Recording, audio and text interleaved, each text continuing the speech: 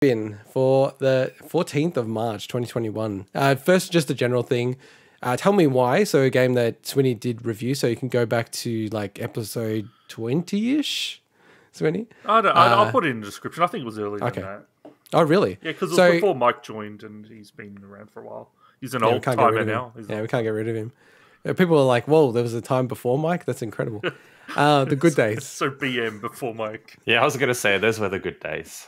Yeah, exactly. No Uh, more. The ter- the tyrant has entered the game. So tell me why first chapter is now permanently free. Uh, so that's on Steam, Xbox, wherever the game's available. Thanks, that's Xbox. pretty That's cool. great. That's great for everyone. Yeah, I'm, I'm being the shield for once. yeah, yeah.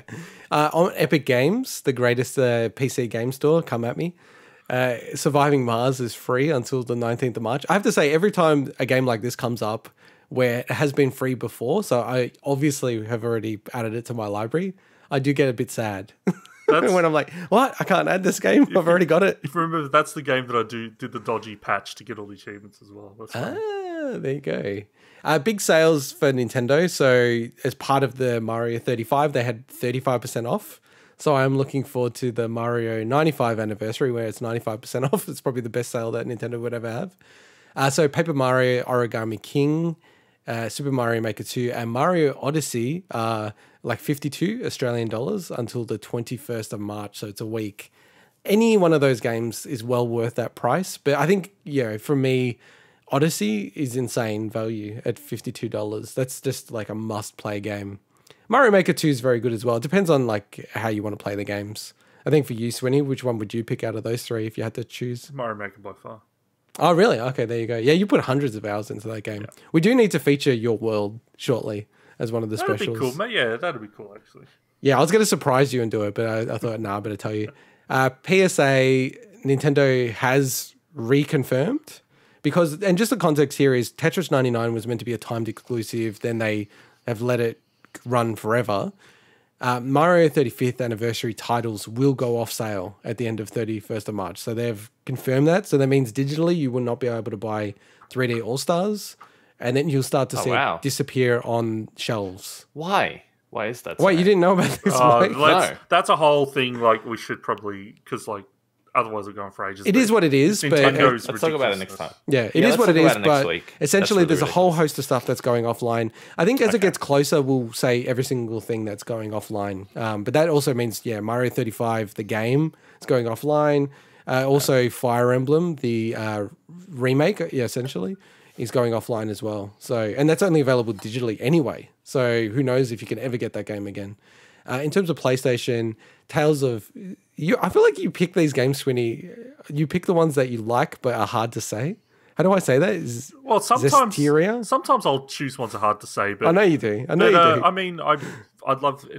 There was a Tales story meant to cover this week, but I, I cut it. So this is Okay. this is a discount on a Tales game. Sales and how do you say it? Zestiria.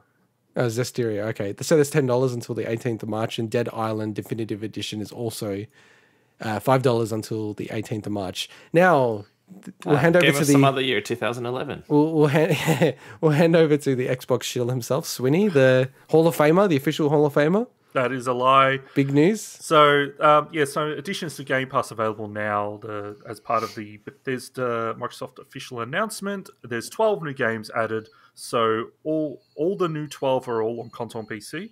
So that's uh, Dishonored Definitive Edition, Doom, and Doom 2, which are the 2019 re-releases of the classic games. Uh, Doom Oh. 3. No, because there's a separate It's version. so weird that yeah, I read that. I'm like, what? Why'd you write 2019? because Okay, there's yeah, separate versions of Doom Arcade and Doom 2 Arcade that are backwards compatible from 360 as well. Um, so Doom 3, Doom 64, uh, Elder Scrolls 3 Morrowind, Elder Scrolls 4 Oblivion, The Evil Within, Fallout 4, Prey, Wolfenstein: The New Order, and Wolfenstein: The New uh, The Old Blood. And they join the um, a bunch of games that are already in Game Pass, which as was part of the announcement, which was Dishonored 2, Doom Eternal, Fallout 76, Fallout New Vegas, which is console only, Elder Scrolls, Skyrim Special Edition, Elder Scrolls Online, that's console only, Rage 2, and Wolfenstein Young Blood. That's a really good selection. Wait, is Doom 2016 not on Game Pass? No, not anymore. I No. think it used to be right, but no, it's yeah, not. so not at the there's a few It games was. like There I are a few games yeah, 'cause missing, like it Evil Within all two time. and stuff. So you'd see, you'll start to Fallout see some 3. of those things dropping. Yeah, Fallout Three is another. Yeah. Yeah. Yeah, okay. Maybe they'll they'll add them later. But I have to I mean, admit, there's so many games that they added. I felt like at that point they should just add everything. Well, I think it's Yeah, the it's sometimes the work. Like I think Fallout Three, some of the New Vegas, um, where like Yeah. to get on the Windows Store, they just need to kind of do a bit Fair of work enough. to it. Um, but yeah. would you now say it's good good value Game Pass, or you- are you still Me, Yeah, for, honestly, for the- PC, look, I'm the thing getting is, my value. again, I buy games on discount. I monitor that. I'm very patient. I have to say, the podcast is kind of throwing me in a loop for that kind of stuff. Things like the Mass Effect trilogy, I'll probably just have to eat it and buy it when it comes out if I'm got time to play it. Eighty bucks worth. It's such a ripoff. Um, but look, Game Pass is good. Like if you, Swinny doesn't say that. I- I'll say it like this: if you have a Series X, Game Pass. If you don't have Game Pass, I don't understand why you got the Series X. Like to me, that's just an, a total If you- no-brainer. If you want to play on a console, like Yeah. that's straightforward. The answer. Because you can I like all playing the on a console. physical games. No, no, no, no. Maybe I didn't say what I said correctly. I said if you have an Xbox Series X, you have to have Game Pass. Oh, It's sorry, like- sorry. Yeah, it's a, okay. sorry, I didn't say it right. It's a no-brainer. Have to. No, no, no. If you, if, dude, if you have a Series X and you don't have Game Pass, it makes no sense to me. You have to have not? Game Pass. You It's get an just- entire collection. it of is games. insane value. No, I'm uh, maybe I'm Oh not no, it's speaking awesome correctly. value. No, I know what you're trying to say. I'm just giving you shit.